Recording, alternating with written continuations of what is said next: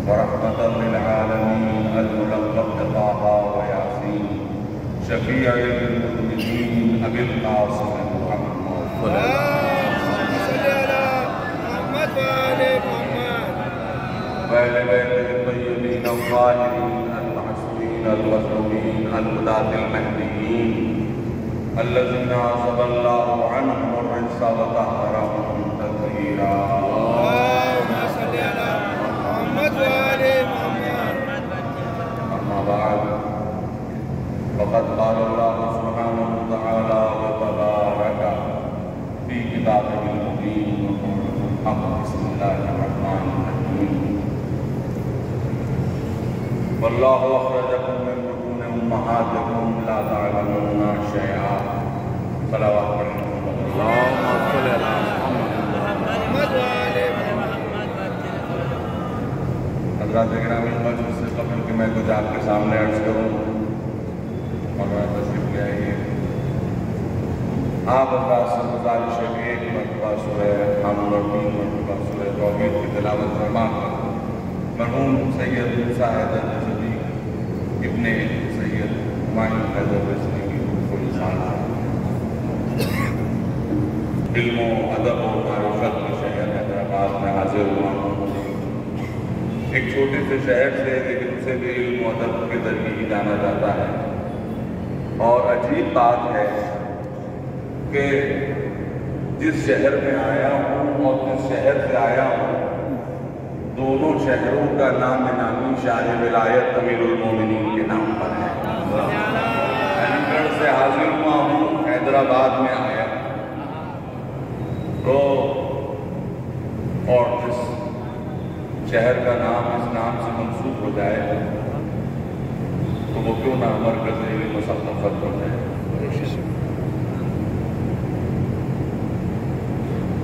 थोड़ा सा एहसास इस बात का है कि थोड़ी सी ताखीर हो गई है।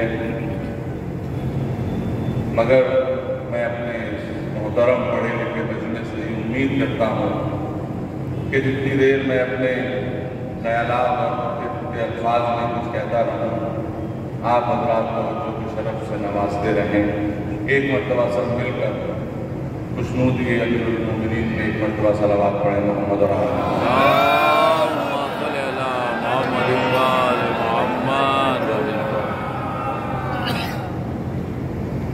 मेरे दोस्तों तमाम तारीफें उस साथ बारी ताला की हुई हैं, जिसने खुद हमको तारीफ़ का सलीका सिखाया। अगर वो तारीफ़ करना ना सिखाता तो हमको तारीफ़ भी नहीं समझ सकते थे क्या होती उसने अपनी किताब में बार बार कहा कि हमारी तारीफ़ करो, इसलिए नहीं कि तुम्हारी तारीफ़ से हम बड़े हो जाएँ, इसलिए कि हमारी तारीफ़ करके तुम बड़े हो जाओ। उसे शौक नहीं है कि अपनी तारीफ़ करवा के वो बुलंद हो जाए। इसलिए कि वो इतना बुलंद है कि जिसके बाद बलंदी मुमकिन ही नहीं है। मगर तो वो तारीफ़ करवाना क्यों चाहता है? क्या वो मामूली फनकारों की तरह हो गया कि जिनको दाद का शौक होता है? तो कुदरत आवाज़ देगी कि पूरी दुनिया मिल के अगर हमारे सामने सर को सजदे में रख दें तो हमारी खुदाई में इजाफा नहीं होगा। सब मिल के इनकार करते हैं तो हमारी खुदाई में कोई कमी वाक़ नहीं पालने वाले तो फिर हमारी सदाकार, गुनहगार जबान से तारीफ़ क्यों करवाना चाहता है? कुदरत आवाज़ देगी कि तुम्हारे शूर का तकाजा ये है। अक्सर ये मामला शोहरा के साथ होता है। कि शोहरा एक दूसरे की तारीफ़ नहीं करते। ज़बरदस्त कलाम पढ़ा जा रहा था तो साथ बैठे हुए थे तो कुछ नहीं बोल रहे थे। ना भाई, क्यों? तो आपको मालूम नहीं ये खुद शायर है? तो शायर शायर की तारीफ़ इसलिए नहीं करता कि आपस में रकावटें होती लेकिन अगर कमाल को देखकर तारीफ़ न की जाए तो ये समझिए कि साहिब कमाल पर कोई असर नहीं पड़ता आपके शूर पर एक सवालिया निशान लग जाता है। तो कुदरत ने कहा कि जब हमने तुम्हारा ये तुम्हारा ये तरीका है कि तुम एक अच्छी तस्वीर को देख के तारीफ़ करते हो एक अच्छे तस्वीरें को सुन के तारीफ़ करते हो तो ये हसीन कायनात हमारे हमने तुम्हारे शऊर का इम्तहान लेने के लिए बनाई है। जब तुम इसको देखकर अल्हम्दुलिल्लाह रब्बिल आलमीन कहोगे तो हमारी खुदाई में इजाफा नहीं करोगे, अपने शऊर की सेहत का सबूत बोले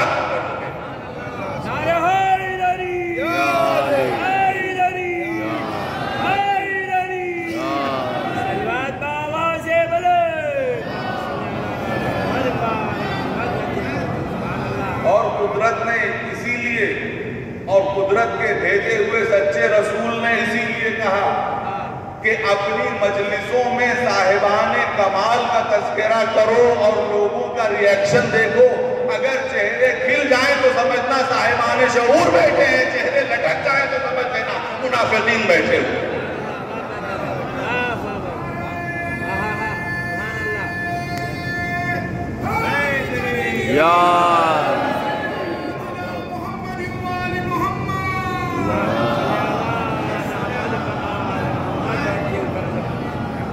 और साहिबान कमाल का ज़िक्र सुनकर जो तारीफ़ करता है, वो साहिब कमाल पर एहसान नहीं करता।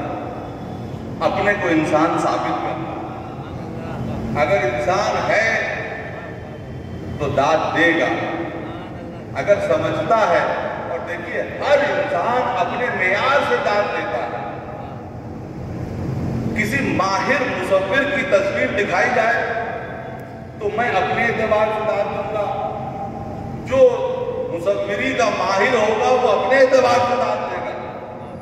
जो जिस एतबार से उसको देखेगा, जो जितनी दिक्कत से देखेगा, जितनी बारीक बीनी से देखेगा, उस तरह से दाद देगा। इसीलिए अहले बैत के किरदार की हमने भी तारीफ़ की, खालिद कायनात ने भी तारीफ़ की।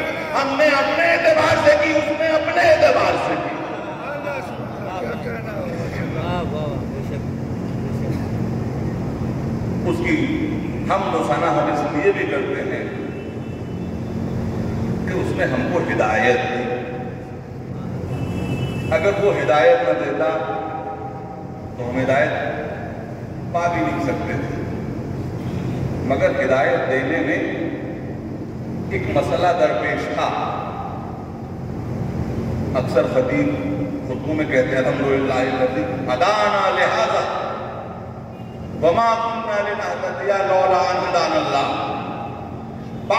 जिसने हमको हिदायत दी, अगर वो हिदायत न देता तो हमें हिदायत नहीं मिलती। उस पर वाजिब है कि वो हिदायत दे। हम पर ज़रूरी है कि हम हिदायत लें। हम हिदायत के मोहताज, वो हिदायत देने वाला। मगर मसला ये है कि उसके कमाल का तकाजा ये है कि वो नीचे आ नहीं सकता। हमारे मुफ़्त का तकाजा ये है कि हम उधर जा नहीं सकते। उसके कमाल का तकाजा है कि वो जिस्म में ढल के आ नहीं सकता। हमारे मुफ़्त का तकाजा है कि हम जिस्म से आज़ाद नहीं हो सकते। तो अब ये हिदायत मुझे तो कैसे मिले? तो कहा, परेशान न हो। हम कुछ ऐसी शख्सियतें बनाएँगे कि जिनका सिरा, एक सिरा जिनके वजूद का उधर से जुड़ा होगा, एक सिरा इधर से जुड़ा होगा। वो लेंगे अपनी लामहदूद सलाहियतों के एतबार से। तुमको देंगे तुम्हारे वसत सर्फ के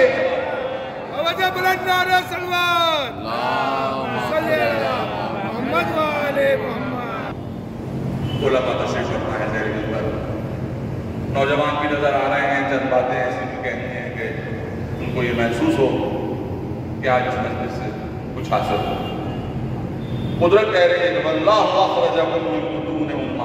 मुतवज्जे रहिए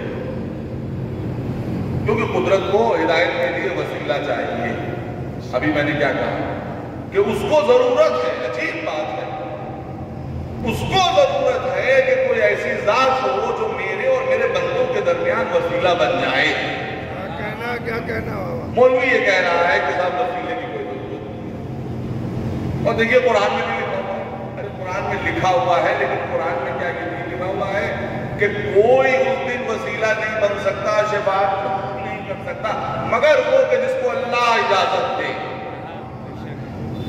अजीब बात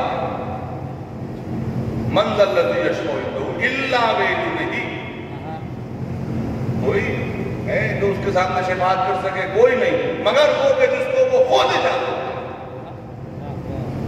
तो उसने वसीला करार दिया, बस। इसी एक लफ्ज के ज़रिए से जो तस्वीर आगे बढ़ेगी, आप हजरात को तवज्जे रहे कुछ जवाब ऐसी हैं कि जिनका एक सिरा उधर से जुड़ा हुआ है। एक सिरा हमसे जुड़ा। जब वो तुम्हारे दरमियान बैठ के मुस्कुराएँ तो समझ लेना कि ये सिरा तुमसे जुड़ा हुआ लेकिन अपनी उंगली के इशारे से चाँद के जिगर के दो टुकड़े कर ले तो समझ लेना ये सिरा उधर से जुड़ा जब मस्जिद में बैठ के सूखी रोटी घुटने से तोड़ के खाएँ तो समझ लेना ये सिरा बशरियत से जुड़ा हुआ है। और उन्हीं हाथों से अगर दो उंगलियों की जुम्बिश में बाब खैबर को अपने हाथों में उठा ले तो समझ लेना ये सिरा उधर से जुड़ा हुआ है। अगर तेरे खंजर गला आके कट जाए तो समझ लेना ये बशरियत है और अगर दो के नैदा पर कुरान पढ़ के तो समझ लेना ये सिरा वहाँ से जुड़ा हुआ है।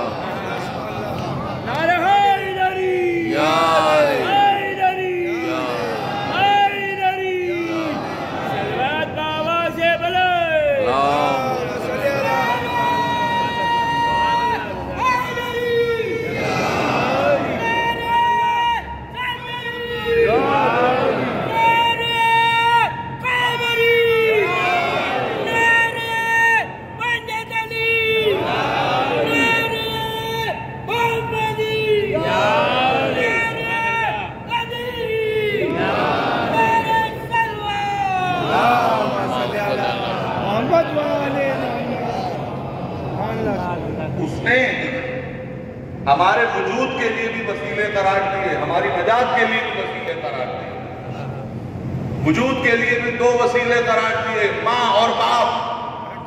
नजात के लिए भी दो वसीले करार दिए कुरान और अहले बैत। अल्लाह वल्लाह अखरजकुम सूरह कहल के 78वीं आयत वल्लाह अखरजकुम मिन बुतून उम्महातिकुम ला तालमून शैआ अल्लाह ने तुम्हें तुम्हारी माओ के रहम से इस हालत में निकाला कि तुम कुछ नहीं जानते। अजीब बात है। इंसान के तकब्बुर को एक झटका दे रही है कुदरत कि जो तुम आज थोड़ी सी दौलत थोड़ा सा इकतदार थोड़ी सी जो तुम्हें हैसियत और पोजीशन मिल गई है, उसने तुम्हारे पूरे वजूद को एक नशे में भर दिया। तुम जरा उस वक्त को याद करो, जब तुम पैदा हुए तो उस वक्त कुछ नहीं जानते। चाहिए मुतलक थे इतने कमज़ोर थे मुतवजे रहिए।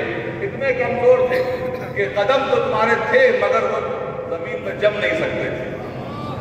जबान थी, मगर कुछ बोल नहीं सकते हाथ थे, मगर काम नहीं कर सकते। थे कुत समाज थी मगर कोई मीनिंगफुल बात सुन नहीं सकती। कुछ नहीं था।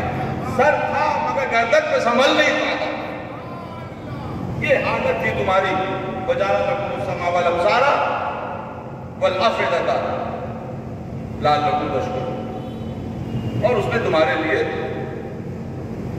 सुनने वाला तुम्हें बनाया, तुम्हें सुनने की सलाहियत दी, तुम्हें देखने की सलाहियत दी। तुम कुछ नहीं। थे बल्कि तुम्हारे मुकाबले पर हैवान तुमसे बेहतर थे तवज्जो रही। हैवान तुमसे बेहतर थे। मछली का बच्चा अंडे से निकलते ही तैरने लगता आम मुशाहिदा। मुर्गी का बच्चा अंडे से निकलते ही दाने पर मुँह मारने लगता आम मुशाहिदा। लेकिन ये हज़रत इंसान जो कल आगे बढ़ के खुदाई का दावा करने वाले इनको अगर थोड़ी देर भी ऐसे ही छोड़ दिया जाए तो ये अपनी ज़िंदगी की गाड़ी चंद लम्हे नहीं चला सकते। और रहे कुछ तुम नहीं जानते तुम्हें कुछ नहीं मालूम था। ये सब कुछ पालने वाले हैवान को इतना मज़बूत बनाया, इंसान जो अशरफ मखलूक है, उसे इतना कमज़ोर क्यों बनाया? क्यों बनाया कुदरत जवाब देगी कि उन्हें सिर्फ़ उनके लिए बनाना था। तुमको समाज के लिए बनाना जब माँ तुम्हें सीने से लगा लेगी तो तुम्हें मालूम होगा कि माँ क्या होती है। बाप अपने पसीने की, अपने माथे के पसीने की कमाई ला के तुम्हें खिलाएगा तो तुम्हें मालूम होगा कि बाप क्या दादा जब तुम्हें पकड़ के चलना सिखाएगा तो तुम्हें पता चलेगा कि दादा कौन है। जब माशरा तुम्हें आदाब और इल्म सिखाएगा तो पता चलेगा कि माशरा कैसा होता है। चूँकि हमें माशरे से तुम्हारे रिश्ते को मज़बूत करना था, इसलिए हमने तुम्हें कमज़ोर बनाया। ताकि माशरा तुम्हें दे और तुम मज़बूत हो जाओ। और देखो, जब मज़बूत हो जाना तो अपने माशरे को ना भूल जाना। माशरे को ना भूल जाना। इसलिए कि जब तुम दोबारा कमज़ोर होगे, इस दुनिया से जाओगे तो चार कंधे तुम्हें अपने ही कौम के चाहिए होंगे और किसी के नहीं चाहिए होंगे। सलावात पढ़े मोहम्मद। सवाल है और का जवाब। एक शख्स आगे कहता है कि दोनों तरफ़ हमें बड़ी बड़ी शख्सियतें नज़र आ रही हैं। जंग जमल एक ऐसी जंग है कि दोनों तरफ़ बड़ी बड़ी शख्सियतें नज़र आ रही हैं। दोनों तरफ़ बड़े बड़े रिश्ते नज़र आ रहे हैं। मैं कंफ्यूज हूँ कि हक किधर? आप बताइए, कितना वजनी और कितना कि दोनों तरफ़ रिश्ते नज़र आ रहे हैं। दोनों तरफ़ बड़ी बड़ी शख्सियतें नज़र आ रही हैं। तो अब ये बताइए कि मैं किधर जाऊँ तो डॉक्टर ताहा हुसैन, जो अरबी के बहुत बड़े अदीब हैं उन्होंने ये लिखा कि जब से इंसानी इस जुमले की शान सुन लीजिए उसके बाद में जुमला आपकी नज़र करता हूँ कि जब से इंसानी जबान में बोलना सीखा, किसी ने इतना वजनी कलाम नहीं किया जैसा इस जुमले से सुना गया। इस शख्सियत से सुना गया। क्या फरमाया आपने? आपने फरमाया, तुम्हारा सवाल बहुत जायज़ है। दोनों तरफ़ बड़ी बड़ी शख्सियतें हक किधर है। मौलाना ने कहा कि देखो असल में तुम्हारी फ़िक्र में कची। तुम पहले शख्सियतों को देख रहे हो और शख्सियतों से मरूब होने के बाद तुम हक की तरफ़ देख रहे हो। इन्नल हक, आप अरबी जबान में बहरहाल मैं इस लफ्ज को कह दे रहा हूँ। हालाँकि इससे जो है वक्त का बयान मकसूद नहीं है, लेकिन मैं बताए दे रहा हूँ।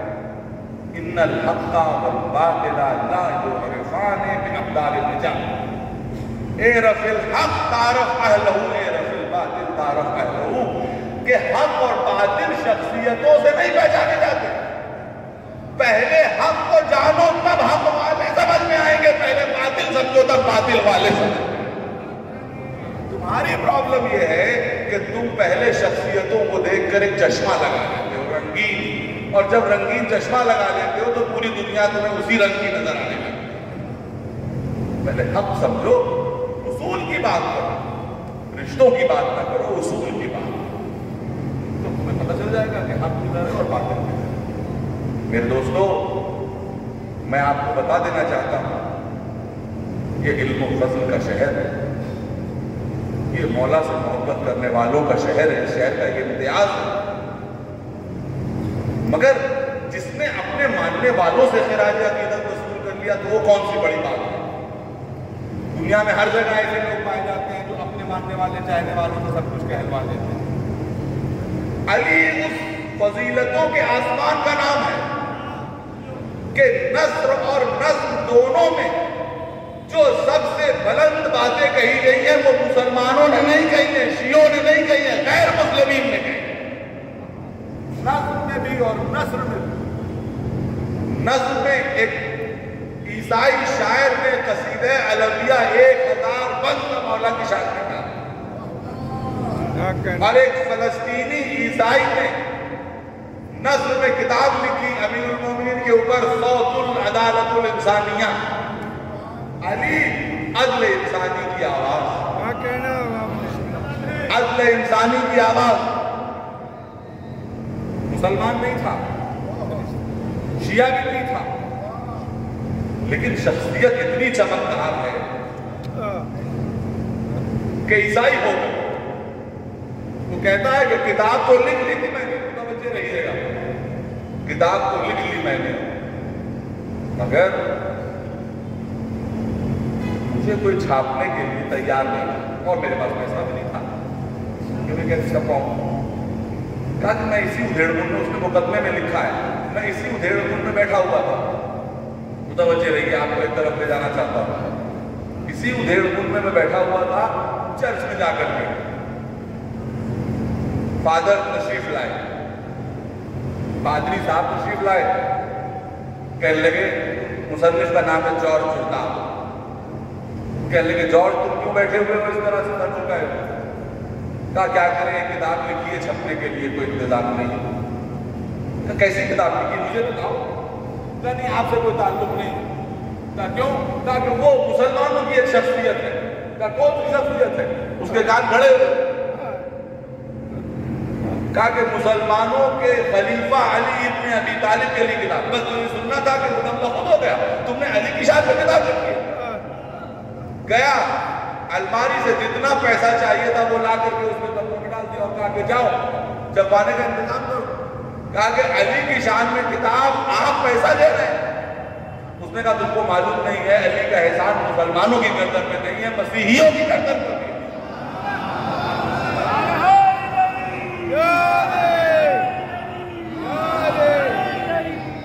बराबर पड़ेगा।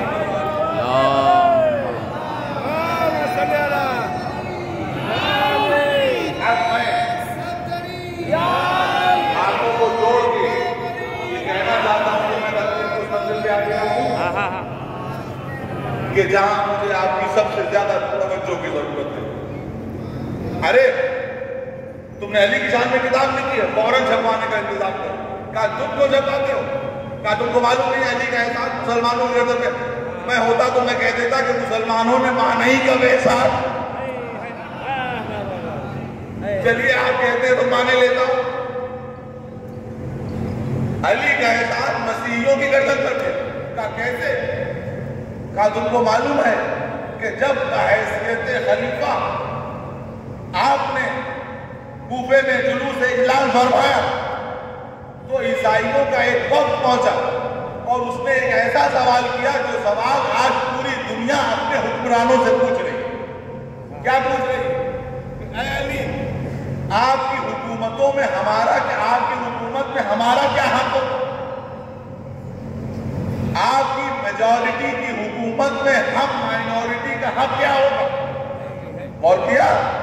आपने अपने हालात को गौर कर दिया। हर जगह आज दुनिया में माइनॉरिटी अकलियत, अक्सरियत से ये सवाल कर रही है कि भाई, हमें भी जीने दोगे या नहीं जीने दोगे? ईसाई आके सवाल कर रहे हैं हमें मुमिन से? कि आपकी हुकूमत में। अब आप ये बताइए कि ये हुकूमत डेमोक्रेसी नहीं है? किसी में मजाल नहीं है कि अमीर को इस खिलाफत से उतार सके? भाई, आज के नेताओं को तो ये होता है ना कि भाई पाँच जो कुछ बने, पाँच ही साल के लिए तो आज बने तो कर भी सकते लेकिन ये थियोक्रेसी है मेरे ये कहने में कोई जो है वो कबाल नहीं कि थियोक्रेसी है डेमोक्रेसी नहीं थी लेकिन खुदा की कसम, अली ने वो जवाब दिया, जो आज नहीं, बल्कि कयामत तक के हुक्मरानों के लिए मशले राह बन सकता है। देखिए, आधा जुमला कहूँगा और आधे जुमले के बाद आधा जुमला कहूँगा। पहले आधे जुमले की बात चाहूँगा। अली ने अगर इतना ही कह दिया होता तो काफ़ी था, मुतवज्जे रहिए। पूरी तवज्जो के साथ। इतना कह दिया होता कि तुम्हारी जान, माल, इज़्ज़त आबरू महफूज रहेगी, तुम आराम से रहो। इतना कह दिया होता तो मसीहियों के लिए बहुत था। काश अली भी कोई कह दे। कि तुम्हारी भी जान माल इज़्ज़त आबरू सब महफूज है, आराम से रहो। मगर खुदा की कसम, शाह विलायत ने यहाँ पे इतफा नहीं की। अजीब बात बस इस जुमले के लिए सहमत नहीं आपने फरमाया, तुम्हारी जान, माल, इज़्ज़त आबरू मुसलमानों की तरह मोहतरम है, तुम उसी तरह रहोगे जिस तरह मुसलमान रहते हैं। उसके बाद आप आगे बढ़ते हैं कि देखो, अगर ईसाइयों में कोई झगड़ा होगा तो उसका फैसला इंजील से करूँगा। यहूदियों का कोई झगड़ा होगा तो उसका फैसला तौरेत से करूँगा। मुसलमानों का झगड़ा होगा तो उसका फैसला कुरान से करूँगा। अब मैं मुसलमानों से कहना चाहता हूँ तुम्हारा अख्तियार है मसनद खिलाफत में जिसको चाहो बिठाओ मगर ये समझ लो कि कम से कम इतनी सलाहियत वाला तो कोई होना चाहिए कि ईसाइयों का फैसला इंजील से कर सके यहूदियों का फैसला तौरात से कर सके। बड़ा बात Oh.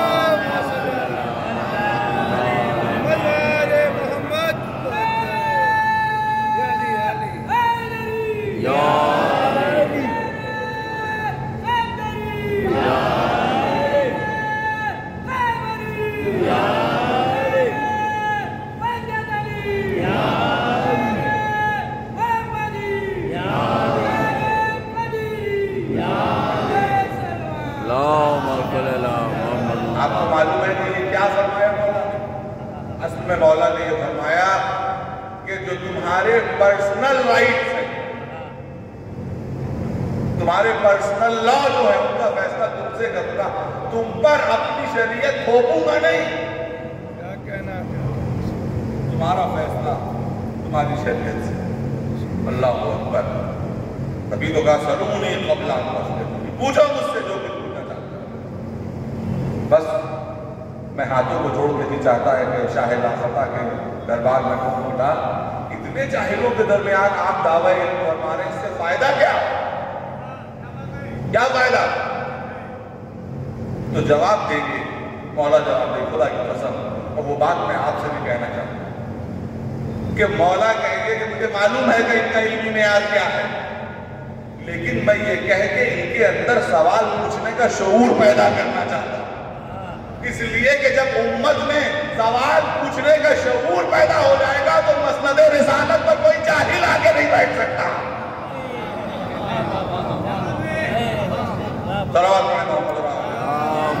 रसूलुल्लाह। जब तक मिजाज ना आ जाए, आप कितना पढ़ लेंगे, जितना भी पढ़ लेंगे अगर आपको मिजाज मालूम हो गया इस्लाम का तो फिर आप सवालों के जवाब देने के लायक बन सकते। मसलन सबसे बड़ा मिजाज इस्लाम का ये है कि कोई शय अगर अदल इंसाफ के मुखालिफ है तो वो इस्लाम की नहीं हो जो मिजाज शनास रसूल है, वही मिजाज शनास इस्लाम। आपको मालूम है ना कि यही ईसाई राहिब पहुँचे थे रसूल से मुबाहला करने के लिए। और जब पहुँचे तो ये सोच के पहुँचे कि किसी बड़े बादशाह के पास जर्री कबाएँ पहन के आए। सोने और चांदी के तार लगे हुए थे। नबी के पास आए, मजमा साहब का मजमा। इधर से सलाम किया, जवाब सलाम फेर दिया दूसरी तरफ़ से सलाम किया, जवाब सलाम फेर दिया अब मुसलमानों की तरफ़ मुखातिब हुए वो मुसलमान जो 24 घंटे सोहबत का फैज उठाने वाले कि भाई ये बताओ कि आपके नबी हमें हमारे सलाम का जवाब क्यों नहीं और जबकि सुबह शाम के बैठने वाले और आपके नबी के अखलाक की तो बड़ी तारीफ़ है अब आप यहाँ पर देख लीजिए कि शऊर किस मंजिल पे था। सब सामने इसलिए कि इस्लाम से टुकड़ों में वापस थे, मिजाज इस्लाम से आशना मगर एक साथ थे, जिन्होंने ये कहा कि देखो मैं हम ये तो बता नहीं सकते कि क्यों जवाब नहीं देते मगर हम तुम्हें एक दर का पता बता देते हैं, जहाँ तुम्हें मालूम हो जाएगा कि रसूल सलाम का जवाब खुदा की कसम, कहाँ है आपका शुरू? वहाँ पहुँचे, तब तक बात किया। शाह विलायत, नमूदार आपके नबी, हमारे सलाम का जवाब देते जल्दी जल्दी बस सर से पाँव तक देखा, और क्या क्या इसी तरह से से। बस फ़ौरन कहा कि अभी तुमको हुकूमत और नबूवत का फ़र्क नहीं मालूम हमारा नबी हाकिम नहीं, नबी बना के भेजा गया है। अपने असल लिबास में जाओ तब हमारे नबी का अखलाक देखें हमको मुसलमानों से ये कहना है कि मुसलमानों, जो नबी की ज़िंदगी में इस्लाम का, जो नबी की ज़िंदगी में नबी का मिजाज बता सकता है, वही नबी के बाद इस्लाम का मिजाज बता सकता है अरे हैदरी हैदरी हैदरी बात बाबा से बोले मोहम्मद आले मोहम्मद दिन से गुजर रहा है दामन में गुंजाइश कम। लेकिन मुझे चल पाती मेरे दोस्तों, सिर्फ़ ये वो तर्क है कि जहाँ सवालों के जवाब दिए जाते कुदरत कह रही है कि सवालों में पाबंदी नहीं है। जो अगर नहीं जानते हो, साहिबान तुम्हें सवालों के जवाब मिले।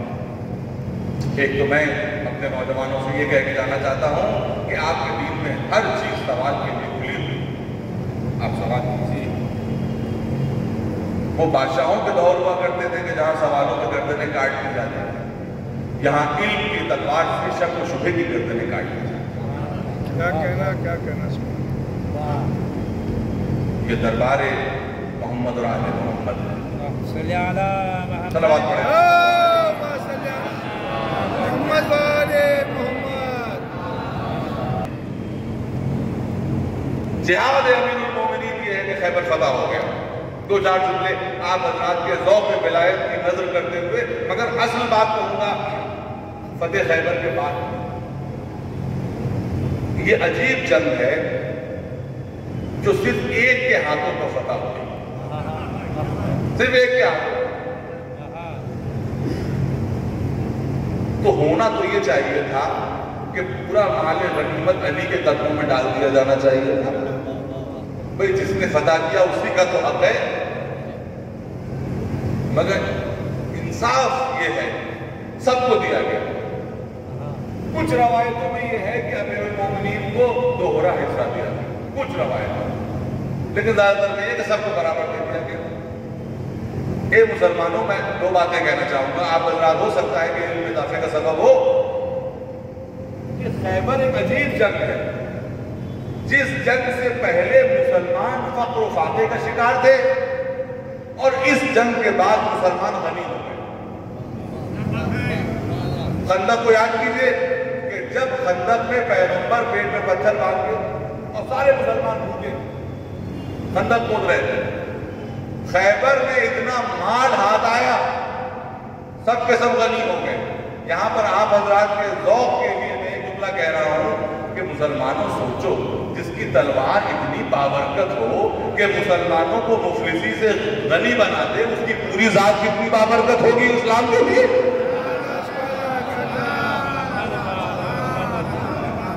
कितनी बाबरकत होगी? अकेले एक तलवार, पूरे मुसलमान माशरे फक्र फाके और इफलास और तंगी से निकाल के गनी बना दिया।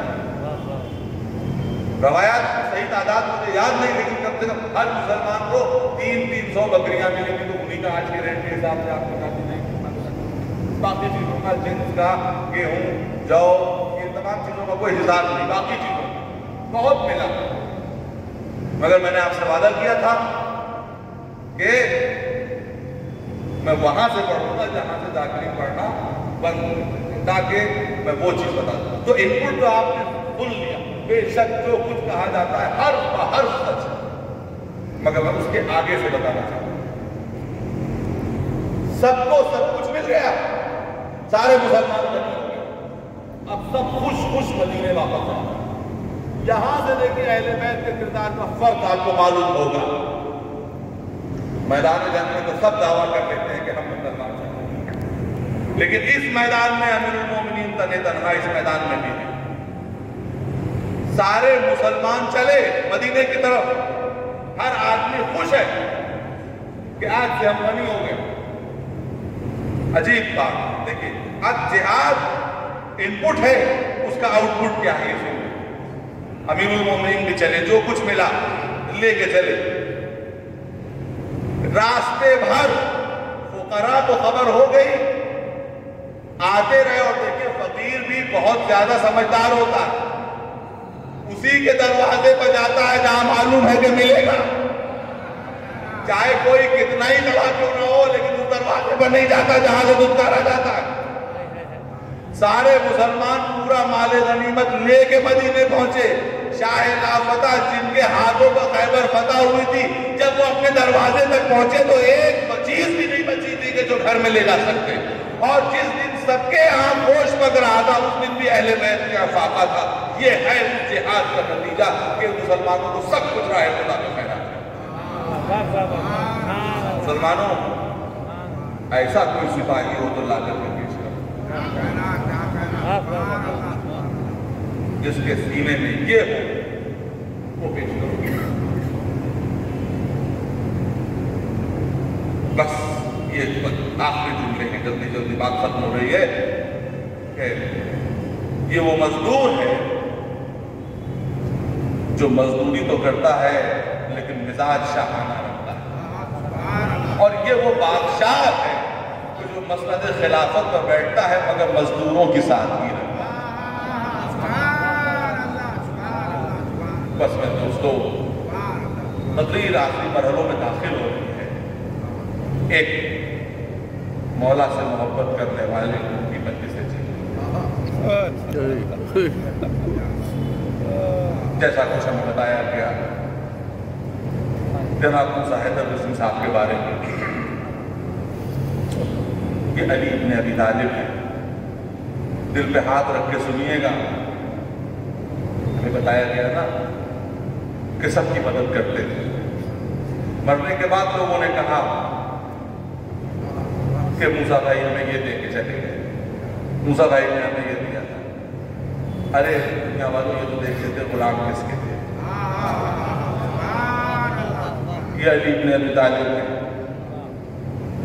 के रातों में,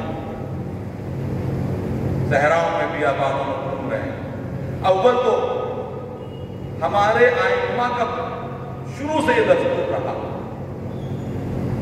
हर इमाम के एक निशान माथे पर होता था और एक निशान पुष्प पर होता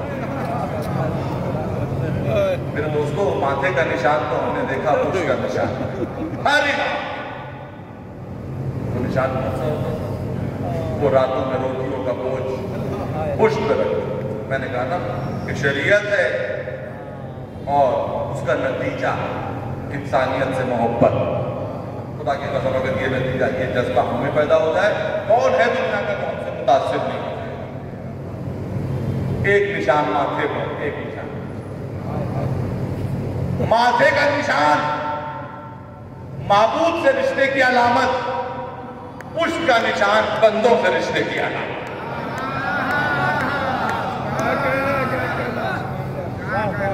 और ये जात अब दो मामूद के बीच का वसीला।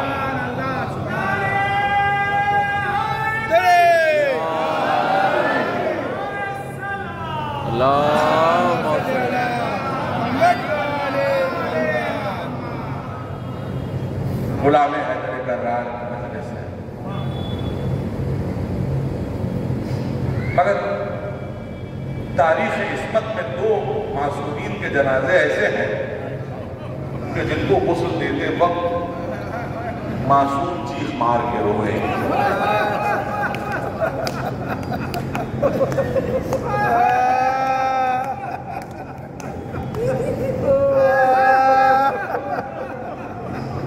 एक, जब मासूम आदम को गुस्ल देते चीख मार के रोए पूछा कि मौला क्या देख लिया आगे तुमको मालूम की बेटी की दो बस्तियाँ और मेरे दोस्तों एक एक मजलूम और है, जिसको गुस्ल देते वक्त उसका बेटा चीख मार के रोया। वो कौन है? इमाम मोहम्मद बाकर जब गुस्ल देने लगे बाबा को तो चीख मार के असहाब ने पूछा फरजंद रसूल, क्या देख लिया जो चीख मार के रोए? कहा कि 36 बरस गुजर गए, मेरे बाबा के पुष्प पर आज भी दुखों के निशान पर।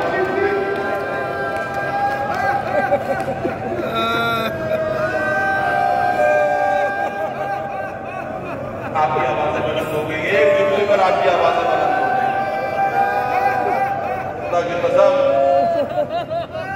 जब अमीरुल मोमिनीन का जनाजा उठा कैसे तो कूफे की दीवार से लगे हुए बहुत से बच्चे बैठे हुए थे, जिनके सर के बाल बिखरे हुए थे। जिनके जिस्म पर यतीमी की खास पड़ी हुई थी।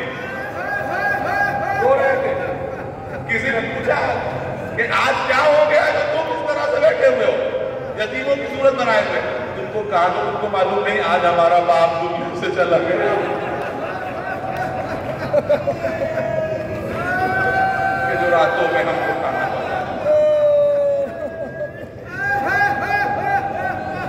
जब इमाम हुसैन मदीने से चलने लगे तो यहूद और नसारा रो रहे थे। किसी ने पूछा, मुसलमान रोते हैं तो समझ में आता है नबी का नवासा जा रहा है। मदीने से ये बताओ, तुम क्यों रो रहे हो? क्या तुमको मालूम है कि आज कौन जा रहा है? आज वो जा रहा है तो हमको रोज दिया पहुँचाया करता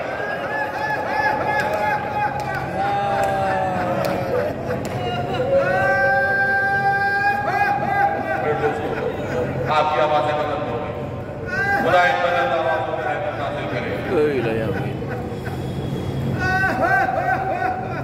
भाई मौजूद हैं इस मजलिस में बस पर्दा कुछ बहनें भी मौजूद हैं हुसैन का भी एक भाई था। मुझे बताया गया कि एक बहन ऐसी मौजूद है कि जिन्होंने उनको बचपन में खिलाया था गोद में खिलाया था। हाँ करबला में भी एक बहन ऐसी मौजूद थी कि जिसने अपने भाई को गोदियों में खिलाया था। और भाई को भाई से क्या ढारस होती है ये करबला से बेहतर कोई नहीं बता सकता।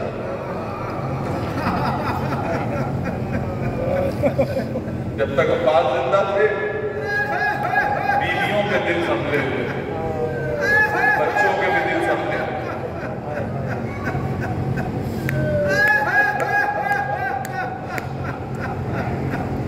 भाई से भाई को कितनी मोहब्बत होती है, उसके लिए हुसैन का एक फिक्रा काफ़ी कि जब आपने नहर से आवाज़ दी भैया मेरी खबर लीजिए।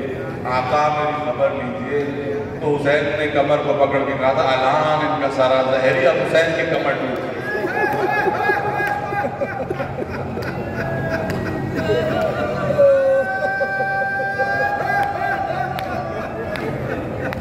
साहिब लोग मौजूद हैं। बहनें भी मौजूद हैं। खुदा के कसम, क्या कहेंगे सब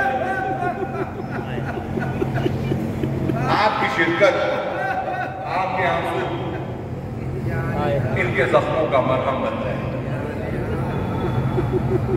करबला में एक ऐसे शान का भाई मौजूद था, जो था तो भाई, मगर वो आका कहता था, अपने आप को भाई नहीं कहता था। भाई को आका कहता था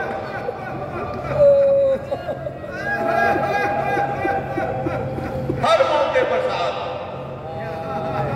अगर हुसैन सुहैल के जनाजे पर जा रहे हैं तो अलम लिए साथ अगर जौन के जनाजे पर जा रहे हैं तो अलम का साया, अल्लाह जब तारीख ये कहती है कि जब कोई ना रहा, और हम सभी है पैगंबर अली अकबर बनने के लिए आगे बढ़े तो इस भाई ने ये कहा कि मौला, सबके जनाजे आ गए, मैं देखता रहा अब ये नहीं हो सकता कि पैगंबर की तस्वीर मेरे सामने खातों मौला, अब इस गुलाम को भी जंग की इजाज़त दे दी हुसैन ने हज़रत से देखा और एक जुमला कहा, अजीब बात। कि भैया, तुम तो मेरी फौज के अलंबरदार हो। बस ये सुनना था कि फ़ौरन दूसरा जुमला कहा आका अब वो फौज ही कहाँ रही जिसका मैं अलंबरदार था?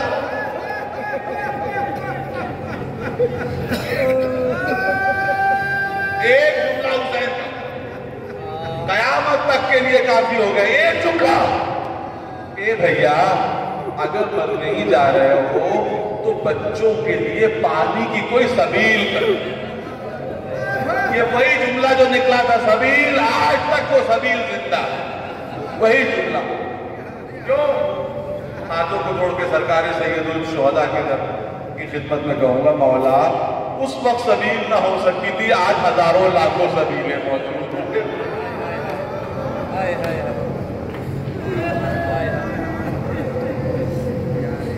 अब किस जबान से कहूँ कि ये गुलाम कहने में आ गया?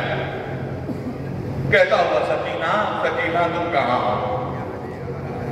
मगर उस खेमे में आ गया। जिस खेमे में आपकी बड़ी शहजादी ये कौन शहजादी है जिसने अपने भाई को मोतियों में खिलाया है? सर को झुका के कहते हैं कि शहजादी अब इस गुलाम को भी मरने की इजाज़त दीजिए ये कहती है कि जनाब, जैनब ने भाई के चेहरे को हसरत से देखा और एक दफ़ा नजफ का रुख किया और आवाज़ की सदकता या बता ये बाबा, आपने सच फरमाया था। बस ये जो सुनना था तो दिल तंगी करने लगा कि बहन, बाबा ने क्या फरमाया था?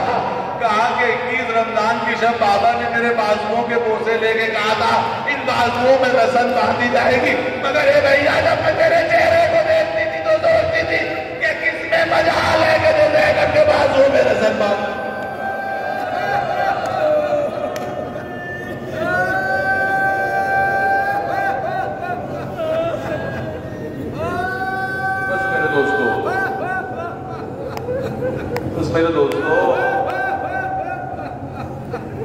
बच्ची। जिससे एक लाफानी रिश्ता है इस चचा और भतीजे का। एक लेके आई। और अजीब बात कि गाजी की शिजात और जुरत यह है कि उस मश्क को छुपा के नहीं ले गए। अलग के ऊपर बांधा ताकि दुनिया देख ले कि मैं अब्बास हूँ मैं मश्क को लेके जा रहा हूँ। अब पूरी फौज खुदा के कसम। मेरे अंदर इतनी ताकत नहीं है। कि मैं गाजी की शहादत को पढ़ सकूँ मगर मेरे दोस्तों, जहाँ तक दिल चाहेगा और जहाँ तक साथ देगी, वहाँ तक पढ़ो अब ये ना समझिएगा कि सिर्फ़ दरिया में पहरा था, पूरी फौज सिमट के दरिया पर मगर ये गाजी की जंग है, जो अलम के साथ, अलम भी एक ज़िम्मेदारी है बिल्कुल फौज को दूर भगाया कि सूखी हुई मश्क को तर्क किया और उसके बाद उस मश्क को भरा। पानी को चुल्लू में लिया और उसके बाद कहते ए नफ्स, अजीब मिसरा है खुदा की कसम। ए नफ्स, ये समझ ले कि हुसैन के बाद ज़िंदा रहने में जिल्लत ही जिल्लत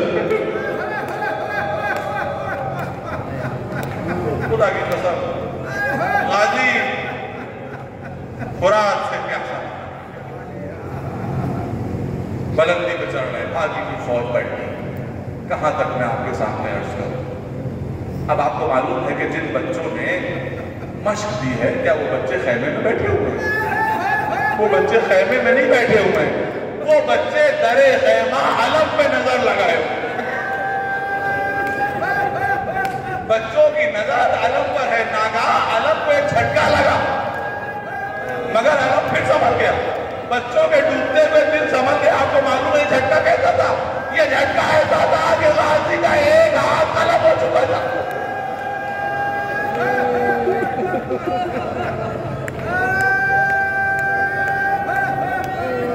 फरमाते हैं कि अगर मेरा दाहिना हाथ कलम कर दिया तो अभी मैं अपने भाई की हिमायत से मुँह नहीं मारूँगा। बस मेरे दोस्तों बच्चों ने देखा कि अलम को एक और झटका लगा, लेकिन अलम फिर संभल गए। आपको मालूम है ये क्या था? ये दूसरा बाजू भी मुनका था। इस जबान से अर्ज़ करूँ इस जबान से अर्ज़ करूँ कि एक जरी ने एक पुर से घना सर पे मारा। और गाजी ये कहता हुआ ज़मीन पे आया, या मौला हो अदरिकनी मौला, मेरी खबर लीजिए। बस ये सुनना था कि हुसैन ने कमर को थामा इनका जरा ज़ाहिर है हुसैन की कमर टूट गई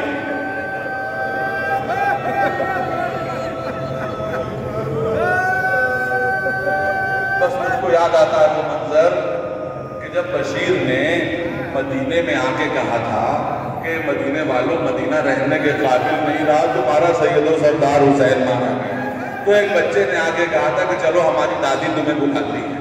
जब उस जब उस जयीफा के पास बशीर पहुँचा तो उन्होंने सिर्फ़ इतना पूछा कि इतना बता दे कि जब मेरा हुसैन मारा गया तो मेरा अब्बास कहा था। ये सुनना था कि कहा कि बीबी, अब्बास का शिकवा न करो। जब अब्बास के बाजू काट दिए गए और सर पे गुर से करा लगा, तब हुसैन का कोई मददगार ना रहा। बस ये सुनना था तो कहा कि, तूने कहा कि मेरे अब्बास के बाजू काटे गए और सर पे गुर से करा पड़ा? इतना बता दे, पहले बाजू काटे गए या पहले सर पे गुर शहजादी पहले बाजू काटे गए करबला का रुख किया, ए बेटा, जब किसी के सर पे वार होता है तो वो हाथों से रोकता है। अरे जब तुझ पर गुड्स पड़ा होगा तो तेरी बेकसी का क्या हालत होगा? तेरी माँ, तेरी बेकसी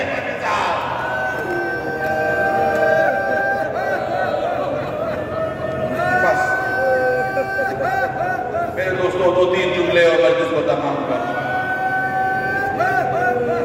ये अलम आया तो हुसैन के हाथों।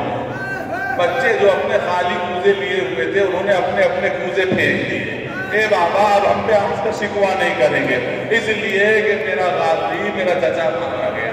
बस आखिरी दो जुमले। कि जब हुसैन का कोई न रहा तो अब सिर्फ़ हुसैन का जिसमें नाजनीन था, और दुश्मनों की तलवारें थी। बस मुझे दो जुमले कह लेने दीजिए कि करबला की जंग एक तीर से शुरू हुई और दो तीरों पर खत्म हो गई। पहला तीर जो उमर, अमर इब्न साद मलून ने लगाया था और कहा था कि लश्कर यजीद गवाह रहना तो पहला तीर मैंने चलाया। और जिन दो तीरों पे करबला की जंग खत्म हुई तो एक तीर हुसैन की पेशानी पर लगा, जो दो सगाए रिसालत थी। अभी उसको, अभी उस तीर को निकाल रहे थे कि तीर कल के मुबारक पर आके लगा। अब घोड़े में संभला नहीं जाता इतना जनाब मुझे उस नशेब की तरफ़ ले चल, ताकि मेरी बहनें मुझको तबाह होते हुए देख